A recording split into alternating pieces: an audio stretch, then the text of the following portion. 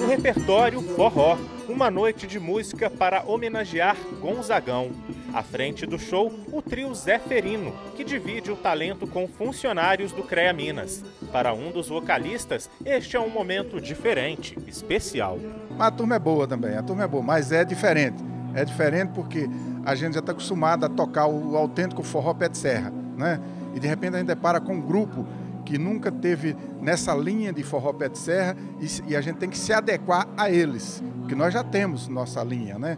Aí não vai fugir tanto porque eles, eles vão cantar e tocar o forró pé de serra e essa é a nossa praia. Sinésio é do Departamento de Comunicação do Conselho e Shirley, técnica em informática.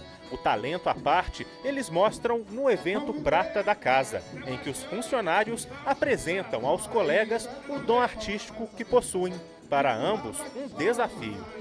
Eu nunca fui muito dado à apresentação em público. Eu sempre brinco com violão.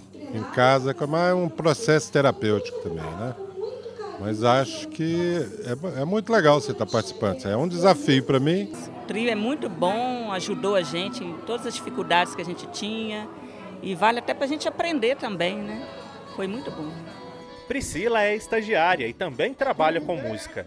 Para ela, a situação não é tão inusitada, por isso dá uma dica aos colegas. Eu acho que é mais difícil você tocar para quem você conhece, mas é, a música, o melhor da música é você conseguir se divertir enquanto está tocando.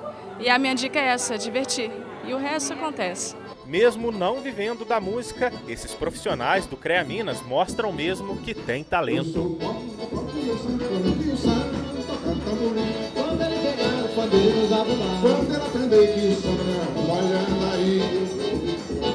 Miami, Copacabana, Chicago.